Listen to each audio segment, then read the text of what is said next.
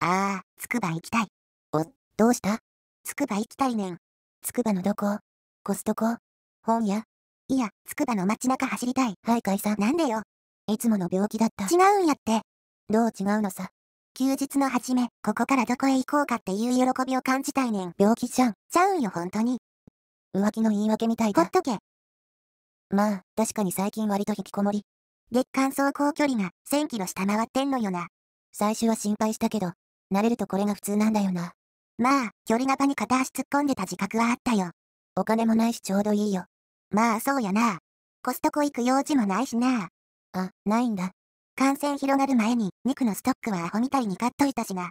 それもそうだ。